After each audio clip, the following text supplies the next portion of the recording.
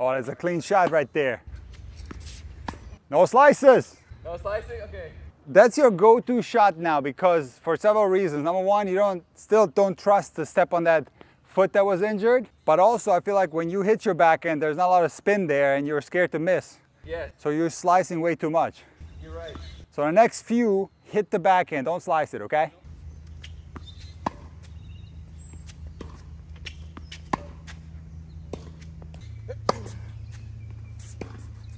Sorry. See what I mean? It's automatic. It's automatic. When you get to the backhand after a forehand, it's always a slice. Again, No. another one, come on.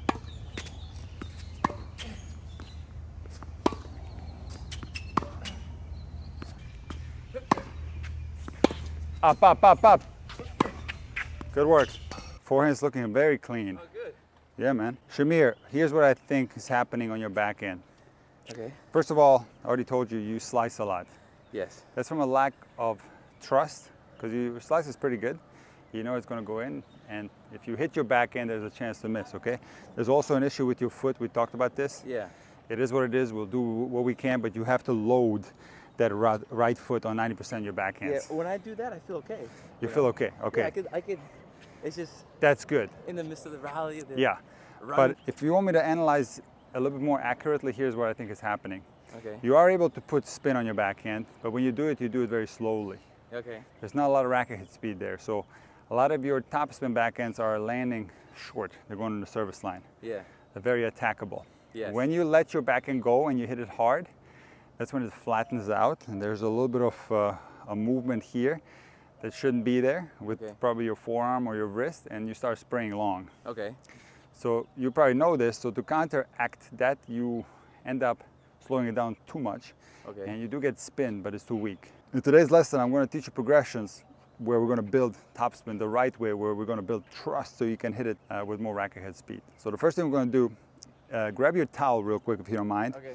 We're going to hit from a lower position, okay? Okay. Right when the ball's coming to my backhand, I feel uncomfortable just setting up for it. Well, there's a lack of trust. Often you also are playing it like this. You're playing it here. You're, you're kind of going back on it. You shouldn't lose your foundation. Remember we talked about this a couple years ago. Pulling back. Yeah, pulling back on the backhand. So, so the problem is, I'm pulling back on every backhand. well, the problem is that you can pull back, but you don't want to fall back. So when you lose your foundation here, now you're falling back. Yeah. So pulling back means like you even see Federer doing sometimes. When you go like this a little bit, that's fine, but you got to hold your foundation. Yeah. But that's a whole separate story Yeah. that's independent of this. Put one leg um, here on the corner of the towel, Yeah. and we're gonna we're gonna play it from here, okay? And you're gonna bring the you're gonna put one knee on the ground. Okay. Well, first things first, what grip do you have on your backhand? Eastern backhand. So that in itself is a great sign because sometimes players with a continental backhand grip will have a more disadvantageous position of the wrist at contact Yeah. and topspin is more challenging. So with this grip, the thumb is more underneath the racket and a vertical swing path is more intuitive, more natural, okay? Okay. So, So this is this- grip, right? No, your grip is perfect. Okay. Okay. All right, now all you gotta do is just swing up aggressively, okay? Do it again. Go again. Swing up aggressively. Good. Again. You see the amount of spin that's on the ball? Yeah. Come on, a little bit faster.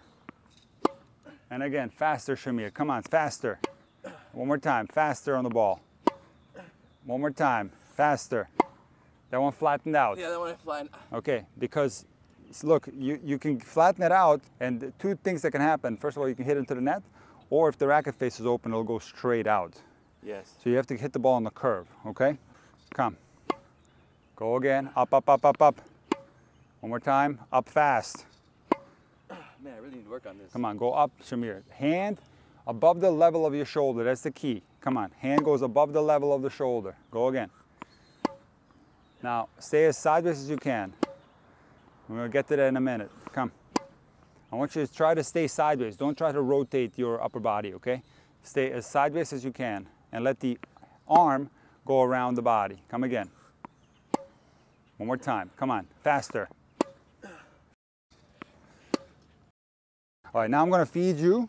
Okay. Same thing, stay like that. Oh, stay stay like that. I'm gonna feed it very accurately. Okay. And again, come on. Again, rotate, come right? on. Don't rotate so much. Go again. That's too flat. Come on, up, up, up, up, up. Better, Shamir. That's it. Come again. Way better. That was a beautiful topspin backhand. Okay, now you can remove the towel. There you go. Come on, swing up. Go against Shamir. Up. Hand above the level of the shoulder. Come on, up. Better. Come again. Again. Come. Better. Again. Again, Shamir. Come on. Yes, look at that spin. There we go. That's the one that I like. All right, did you see uh, the video of Federer uh, hitting against the wall? that one like viral. Everyone was posting it. Yeah, You yeah. saw that one? Yeah, yeah. So I went in and analyzed a lot of those backhands. Okay. So Federer's backhand is, in my opinion, the best topspin backhand. Mm -hmm. Wawrinka hits it a little bit more flat, Yeah. but Federer has more spin on his. And one thing that he does is that he stays more sideways. So he'll rotate into the ball, but then once he hits, he kind of holds the upper body. He holds. Yeah. And then the hand goes way up and back. The hand goes here. And that is the key to topspin because if you take a look at his racket, and in that wall video I made like a little short from that, you see the racket traveling vertically. The tip of the racket goes this. Yeah. So you get so much topspin. So if the tip of the racket comes through this way, this is more of a flat backhand. Wawrinka style. And a lot of players accompany that with more rotation. So they'll rotate more like this, like do Dominic. Dominic Thiem. So you still get topspin that way, but you don't get the amount of RPMs and the heavy type of topspin that, that Federer gets. So the key is we want to set your backhand up with a lot of um, loading, with a lot of turn. We do want to rotate into the ball, but we want to hold the upper body. We don't want to rotate so much and just have the arm swing in Yeah. a vertical sense across the body. Now, one thing that's going to help this vertical swing path that's so necessary is trying to come underneath the ball a little bit. And I oh. mentioned the Federer wall video. If you slow-mo it, you see that his racket and his hand come underneath the ball every time prior to him making contact. Yeah. So once you get up off Okay. the stool? We're going to remove this. And now we've already got comfortable with a more vertical swing path from a lower place by being down low. I'm going to put my racket here and you're going to swing under it prior to hitting the ball. Okay. All right? You don't need the loop right now. You don't need the loop. Oh, just... You start, come a little closer to me. Okay. All right here. Come down with the racket. Down. Oh, just. Okay, here. You're going to come from underneath my racket and you're going to swing up Okay. like you did before. Go again. Another one. Come underneath my racket Mhm. and swing up. There you go. Do it again. You see this? Yeah. So when you when you come from under, it makes the vertical swing path more possible because it's all about momentum, vertical momentum. When you come from a lower place, you're more likely going to continue to go up Up. because you're already going up to make contact with the ball, so the racket is just going to continue going upwards. Yeah. If you come at the ball more straight, here's the ball, you come at it straight, you have to manufacture the vertical movement. It's Yes. possible, but it's more difficult. okay. Okay, so let's do it again. That makes you sense. put your racket underneath mine Okay. and you come here. Oh. Go sorry. again. Come on, let the let the hand go all the way up like Roger. Come again. There it is. Come again. There it is, Shamir. Do you feel more topspin? Yeah, I'm holding the. Hold your torso once you have made contact. Okay, good. That's good. Yes. Come Okay. again. Hold your torso. A little, a little bit more even. Watch a me. little bit more. Yeah. Yeah. You're gonna come in here.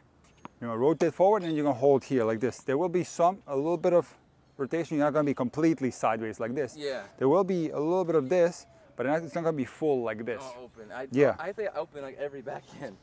It's not wrong. And even Federer sometimes opens. If I'm going cross court, maybe it helps. That's absolutely correct. Sometimes on cross-court balls, Yeah. um, not always, players will a little bit more open a little bit more who are more close. But Federer will also open up more when he flattens out his backhand because he doesn't always hit it with a lot of topspin. He knows how to flatten it out too. Yeah. Okay, so it's not wrong to open up. What we're trying to do with your backhand is build trust so you can hit hard. Because you're hitting it so soft Yeah. and you're slicing it because there's a lack of trust on that side. Yes. It's built up over the last two years with your injury and all that. Yeah. So the top spin can build trust because in essence it slows the ball down and you can swing faster, but you need to swing the right way. Because before, if you swing fast and then something comes through here in the front, now you're gonna start spraying the ball crazy. That's what I was doing. Okay. Yeah, or yeah. another thing that you do is just hit it with spin, but very slowly and carefully and falling back on it like this.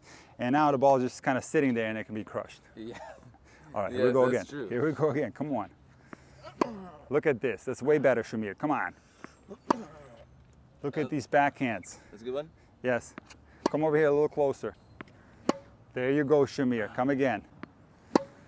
Now, have you ever heard me say accommodate the swing path? Yeah, I heard you say that. All what right. do you mean by that again? All right, so if you, if your hand is trying to go up, right, and your body is not accommodating that movement, let's say you're, you're like, you're going like this and you're trying to go up with the hand, but the body's staying down, that's Okay. not accommodating the swing path. Oh, let the body go with it. Yeah, so what happens, like for example, on Federer's back, and I'll show you, is that he, he loads, he bends his knees, and he hits, and when the racket starts to go up, the body goes up to, he straightens his legs, he uh. gets on his toes like this, the heels get off the ground, and I guess, check this out, when the racket flips back, he actually puts the weight towards the back foot. He puts it towards the back foot because he's accommodating the swing path. So now we're gonna start hitting normal. I'm gonna feed you some balls, and hopefully your body's gonna remember some of these progressions, Okay. But your job is to try to come from underneath the ball, Okay. and try to go up as high as you can with your hand while not rotating so much Right now, yes. and accommodating this whole movement with your body by lifting the body up Got to it. help the hand go up. Okay? You stay it. right here. I'm going to feed you some. That was my favorite one so far. That was even better, Shamir. Nice. Okay. Do you feel the spin? Because it feels different. Listen, it's going to feel completely different doing this, okay, versus this. Oh, You see that? That was more lift. That was more lift. The other one was more smack. Yes. Right, yeah. Yes, you could say that. The one was smack, the other one was lift. Come Yeah. again. Okay, a little bit thin. Another one, come. Not bad, come again. I like that one a lot, but I need more racket head speed. Come on, trust, trust. Good, and again, go even faster, Shamir, faster. Yes, and faster, Shamir, come on. Good. Okay, now go down the line. Down the line. Come. You can still put spin even though it's down the line. It's one of the biggest myths. You can still top spin down the line. Good. And don't steer down there. Come on, trust. More, Shamir. Come on. Make it vertical.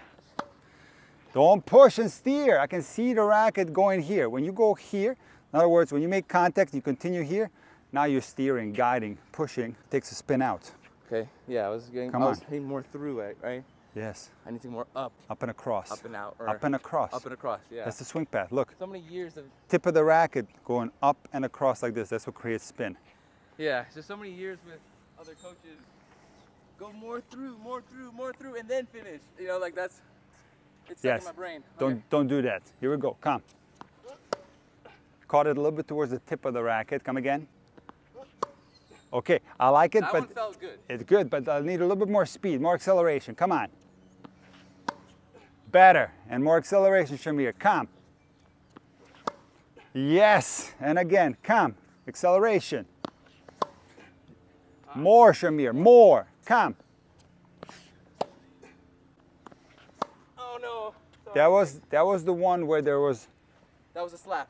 slap, additional movement here. You made contact with the ball, and there was some movement here. When you do that, you lose control, and the ball sprays uh, wildly. Yeah, It I goes- felt- I goes felt the far. difference. You can feel something there, yeah? I gotta okay, get. Okay, it's too soft. Come on, I need more pace. Faster. Good. Hold your torso rotation. Come on, hold, hold. Yes, now you're looking like Roger. Better. And again, come on, Shamir. Another one, accelerate quickly upwards. Come on, quickly. Oh no, sorry. Remember when I had my racket next to you like this and I made you go under the ball? Yes. I want you now to consciously think about getting your hand underneath the level of the ball. Just focus on your hand. Yeah, well, the ball is here, your hand is underneath. Right here. Yeah, So I'm going. yeah. If you come in like this, look, if it's here, No. yeah, like that. All right, go again. Yes, Shamir, come on. Go up fast. Better, come again. Come again, more speed on that, speed. Better. Take the wrist game through on that one. You kind of slapped at it, don't slap it. It's not bad. Come again, we need more pace. Okay, Shamir, now we're gonna recalibrate the contact zone a little bit. Okay. Uh, because when we're talking about what happens to the racket right around the contact, it's very hard to feel exactly what's going on. Whether you're like Federer and going where the tip of the racket stays to the outside. Most players have the the racket come through a little bit naturally. Okay. So we're going to recalibrate that area and I want you to feel more what's happening there. So stand right there Okay. and come into the blue, come inside a little bit. Okay. All right, come a little closer to me. Okay. All right, come into contact like this. Okay, we're going to make contact right here. Okay. And now I'm going to drop the ball and you're going to start from here.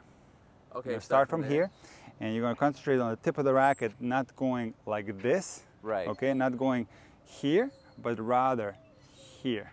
Oh. You see this? Here. Oh, that's a All game So not here, but more here. All right. Ah, And this thing going. yeah, ah. and since you're starting from the contact, since you're starting there, you have a little bit more awareness what's happening to the racket. Watch. Because when you talk about awareness of the racket, Yeah. it's going to be impossible to be aware what the racket is doing at contact because that's happening in milliseconds. So stay right there, Start here. start at the contact, and we're going to recalibrate the contact zone. Okay. Okay, I'm gonna hold your racket. Now you're not gonna get any power, okay? That's why Yeah, I have you standing closer. Come again. Go again. It's hard. Come on, swing out fast though. Up, fast. Go good. Again. Come. Better. And again. Okay, again, Shamir. Come. You're holding it though for me. I can't hit. Come on. Go again. Let's how- let's get closer. Can you let go sooner so I can? No, No. because you want to take your racket back. That's why. No, I won't. I promise. so why do you want me to let go sooner? Like so I can go like this. All right, listen, it's not the first time I've done this progression, and naturally, what people do if I'm not holding the racket, They go down. they start here and then they go back anyway. Okay. You understand what I'm saying? Yeah. So give me your racket, I'll show you. Okay. So this is what happens. They start here and they think they're not taking the racket back, but then when they attempt to swing at the ball, they still go like this. Oh, they go under. No, not under, but they go back a little bit. back. Oh, okay. Yes, so that's why I'm holding your racket. Okay. Yes. All right, All right. go right there. Go on the pickleball line. Go on the pickleball line. Pickleball. That's why I love having pickleball lines on the court. It's additional points of reference, man. it's beautiful. Don't you like it? Yeah, I love it. All right, come a little closer. Here we go. I'm holding right here and go up. Okay, come again. So, um, so that you want me to go like that, Exactly. right? Not like thi- don't let it break the plane. Don't let this thing go. Exactly. Okay. Exactly. I don't think about that when I hit the backhand. You can't. Yeah. That's my whole point of the with the uh, recalibration. So maybe I'm doing this a little bit. Listen, Yeah. Instead of. I'm not, I'm not sure how familiar you are with the intuitive tennis methodology, but there are certain things inside of a stroke, Yeah. these intricate little details of the stroke that are happening intuitively. Right. And that part right there is one of them, where it's absolutely impossible that we can be conscious of what's happening to the racket face exactly around the contact. Why? Because it's happening in milliseconds. Yeah. You hit the ball very quick on the backhand. Yeah. So, what happens to a lot of players when they slow down this contact zone in order to feel the ball more, they end up pushing the ball. Mm-hmm. And they slow down and they end up holding the ball on the string too long and they're steering and pushing it. Like that's what my problem is. Sometimes. So, yeah. s- yeah. So when you make spin, you make a very soft, very, very pushy spin. Yeah. Okay. So with this, you can be more aware of how the racket is going to travel right after contact because you're starting from here. Yeah. Do you understand? Yeah. All right. Again, So go up. Go back up. up. a little bit. Yellow. We said pickleball line. Remember? Go up. Go up. Right. Go up. Across. But there's two ways to go up. You can go up like this, or you can go up like this. That's the one. I want you to go up like that. Second one. Second one. With the tip of the racket going over the ball. Ready? One more time. Did I do it right? Yes, you did. Come again. Why are you hitting so soft? Go ahead and smack the that uh, thing. Come on. Just hit like okay. So You got to get over the net, Shamir. oh, Come okay, on. Okay. Okay. Hold the racket. Why are you so soft on it? Come on, hold the racket. Okay. There you go. See, you know how to do it. You were hitting it so soft before. You're supposed to. Okay. See that? I did like a whipping motion. Is that wrong? A whipping motion. Yeah. I feel like I went like. I used all my like wrist in that. I didn't really like. The wrist is involved in the backhand, no doubt about it. Because when you come around here in this area, this zone right here, that's where the wrist flips and rolls. Is the wrist rolling right here? No, that's not an isolated movement. Right. Okay, so you're just going up like this with the arm, and the wrist comes in later. It feels like I'm forcing this heavy racket to go. Well, that's Let your your that, that's your problem. You're the one. You're the one that loves heavy Yeah, rackets. but you're All right. exposing the worst part of it right Go, now. go. go. Okay. Back it up. You're gonna start from here and you're gonna go up. Come on, this is a recalibration exercise. Why is it so hard? Okay. Now listen. Wait, you want me to you want me to go like this, like right? All the way. I want you to listen. Here, slide over. I'm gonna show you. Okay, all the way to the. Watch this, Shamir. Hold my racket like I did yours. Okay. All right, watch this. When do I let go? Now. You see, I go like this. Again, start there. Again. All the way to the ear. Yeah, as, high as it possibly can go.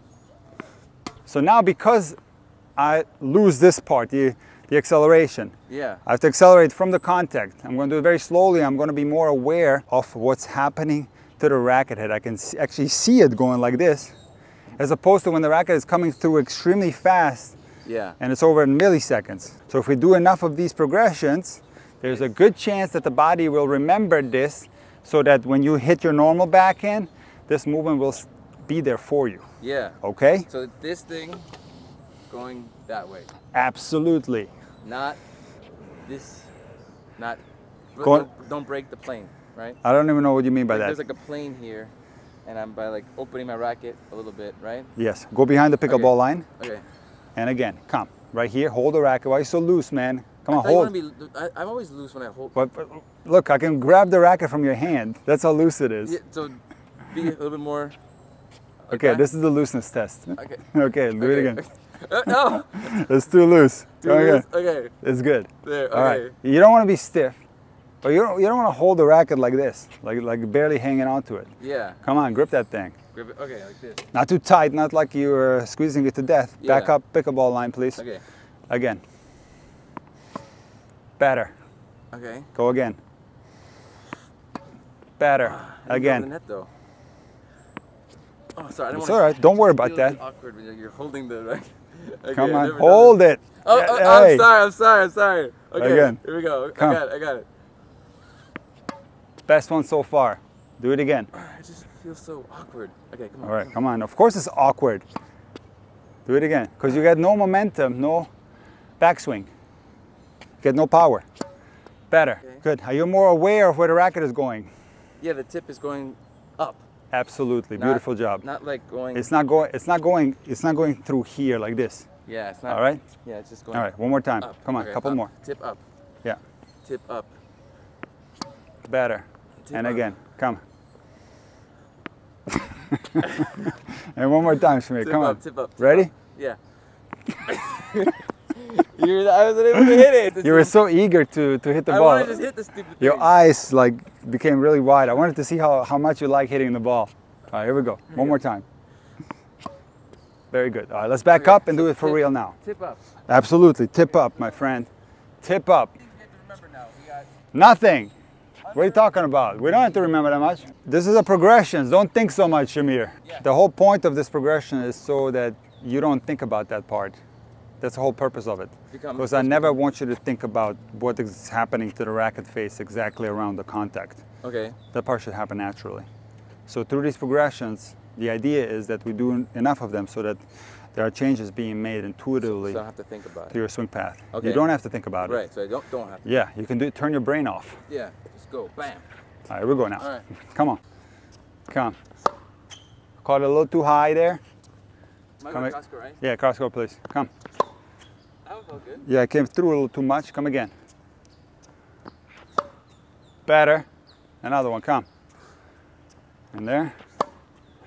Came through a little too much. Come. Here we go.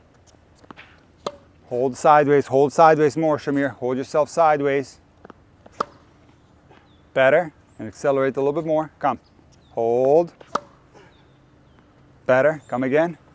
Hold. Maybe my favorite backhand you hit so far. How'd that one feel? That felt good. Okay, let me feed you some more, okay? Okay. Better. Come again. Okay, that one I like better. Let me rally with you a little bit, okay? That's our last progression. We rally cross court. Better.